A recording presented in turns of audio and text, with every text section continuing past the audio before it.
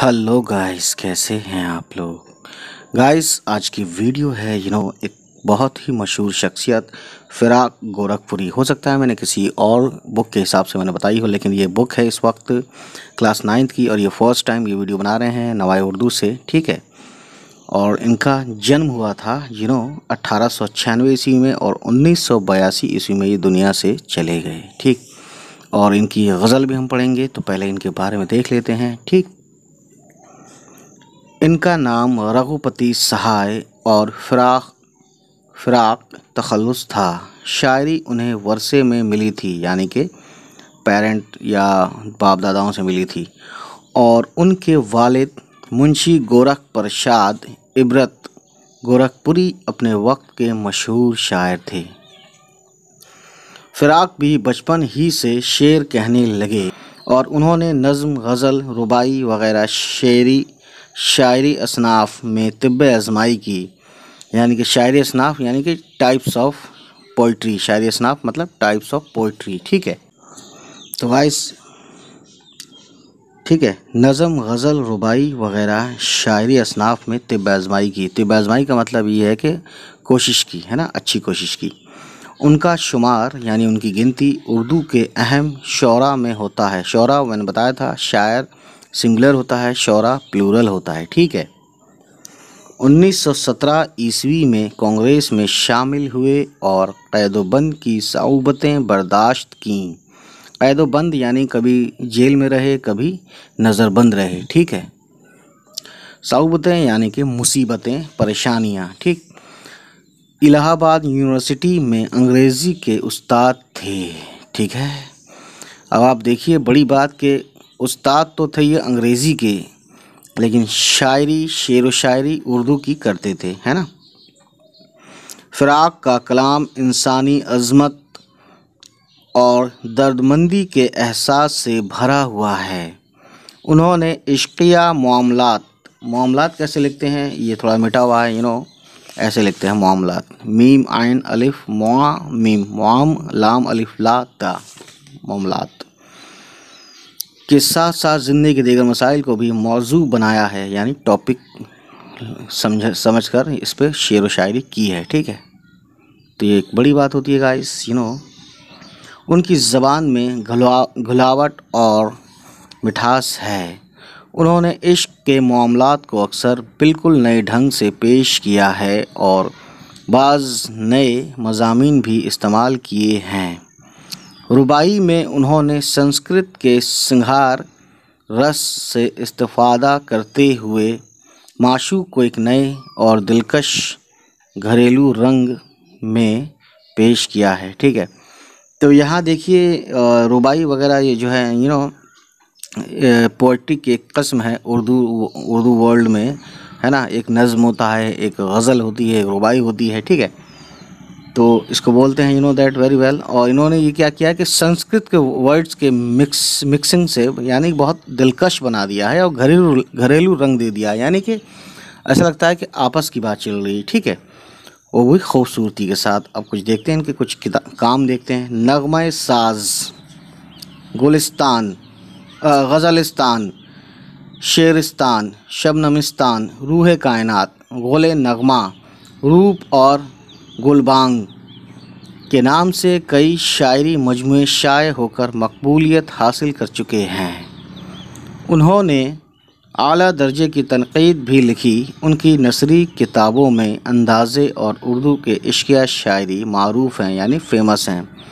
ठीक नसरी बोलते हैं। ये मैंने अभी बताया था ना कि नज़म पोइट्री में क्या होता है? पोइट्री के अलावा जो चीज़ होती हैं, यानी कि नज़म, रुबाई और ये सब पोइट्री को छोड़कर जो तहरीर होती है, जो किताब में होता है उसे, जैसे ये भी एक अब हम पढ़ रहे हैं तो ये नसरी है, नसर, है ना? फ़िराक गोरखपुरी को ज्ञानपीठ अवार्ड और दूसरे कई अहम एजाज़ात से भी नवाजा गया। अगर अवार्ड में एस लगा दें, है ना? जैसे अवार्ड होता है ना, अवार्ड। तो अवार्ड्स मतलब एजाज़ात और अवार्ड मतलब एजाद, एजाज, ठीक है ये जो लिखा है, एजाज़ात यानी अवार्ड्स पेज पलटते हैं गाइस और देखते हैं कि क्या है। अब हम बात करेंगे यू नो कि इसकी गज़ल जो लिखी है इस बुक में, ठीक है? तो चलिए हम देखते हैं बुक में गज़ल कैसी है, क्या है। तो गाइस ये गज़ल पढ़ेंगे, ठीक है? और उसमें देखेंगे क्या है। सर में सौदा भी नहीं, दिल में तमन्ना भी नहीं। लेकिन इस तर के मोहब्बत का भरोसा भी नहीं।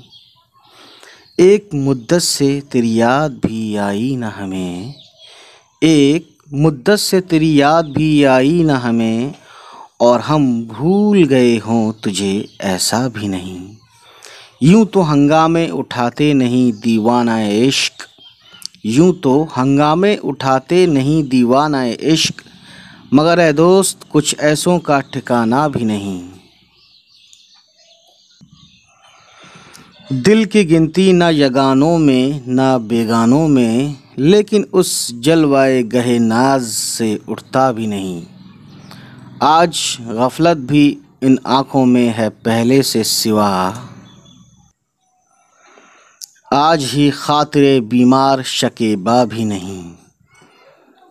हम उसे मुँह से बुरा तो नहीं कहते कि फ़िराक हम उसे मुँह से बुरा तो नहीं कहते कि फ़िराक दोस्त तेरा है, मगर आदमी अच्छा भी नहीं। और शार का नाम तो जानते हैं आप, फ़िराक गोरखपुरी, ठीक है? कुछ वर्ड्स मीनिंग देख लेते हैं गाइस तो वर्ड्स मीनिंग अगर हम बात करें तो यह सौदा, यानी जुनून या दीवानगी, तमन्ना, आरज़ू या ख्वाहिश, तर्क करना, यानी छोड़ना, ठीक है?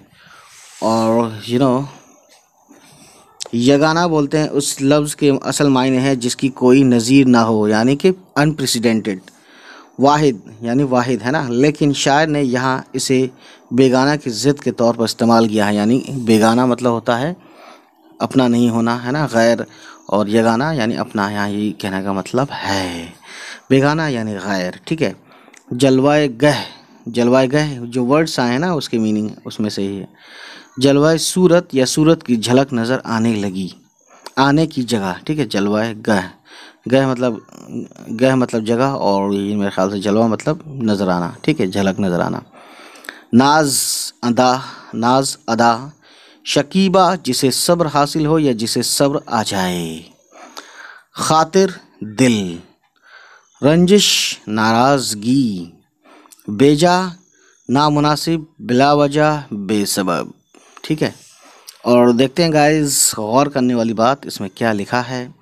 फ़िराक की गज़ल गोई मुनफरद आहंग, आहंगो अंदाज रखती है। ठीक है? यानी कि बहुत डिफरेंट इनका यू नो मेथड है गज़ल कहने का, है ना? गज़ल गोई, यानी कि गज़ल लिखना या गज़ल कहना, ठीक है? या गज़ल पढ़ना, ठीक? तो काफ़ी डिफरेंट है इनका, मुनफरद मतलब होता है डिफरेंट फ़िराक की गज़ल में रिवायत का पास भी है, यानी रिवायत जो कि एक रीत चली आ रही है, रिवायत चली आ रही ट्रेडिशन चला रहा है, उसका पास भी है। यहाँ पास यानी पास का मतलब होता है यहाँ पे लिहाज है, यानी उसका ये केयर रखते हुए यू नो गज़ल को इन्होंने लिखा हुआ है। और वैसे भी हमारे यहाँ से, हमारे से, हमारे एज से सौ साल पहले की कहानी है, ठीक है? और जिद्दत का इजहार भी है। जिद्दत बोलते हैं यू नो जिद्दत मतलब होता है कुछ नया, नयापन या नया, ठीक है? और गाइस ये है पॉइंट फ़िराक के उसलूब में सफ़ाई और बेसाख्तगी है, जिसकी एक मिसाल ये गज़ल है। है ना? फ़्राक के उसलूब में, यानी कि उनके जो, उनका तौर तरीका है है ना? उसमें क्या है? सफ़ाई है क्लियर बात बोलते हैं। और बेसाख्तगी बेसाख्तगी का मतलब है कि जब उन्होंने कहा होगा तो बिना यू नो मेकिंग किए बिना उससे, ठीक है? एकदम जैसे ऐसा लगता है कि बिना बनावट के कोई बात कहता है ना, कि अचानक से तो ऐसा लगता है कि जो भी है, एकदम क्लियर है, अचानक से है, कोई साख्तगी नहीं है, ठीक? और जिसकी मिसाल नहीं है। तो गाइस इतनी सी कहानी है नेक्स्ट टाइम हम इस गज़ल का यू नो क्या करेंगे? इस गज़ल का हम करेंगे गाइस ठीक है? तशरी तो आज इतना ही, और उम्मीद करता हूँ ये वीडियो आपको पसंद आएगी, और पसंद आई तो प्लीज़ हमारे चैनल को सब्सक्राइब करें तो पहुँचाएँ, जिसको इसकी ज़रूरत है। चलिए। उम्मीद है गाइस ये वीडियो आपको पसंद आई हो, और अगर पसंद आई तो प्लीज़ हमारे चैनल को सब्सक्राइब कीजिएगा, जिसका नाम है उर्दू विज़िया और इन सभी वीडियोस को जो हमारे चैनल पर हैं, उनको उन तक पहुंचाइए जिसको उसकी ज़रूरत है। चलिए मिलते हैं। बाय टेक केयर अल्लाह हाफिज़।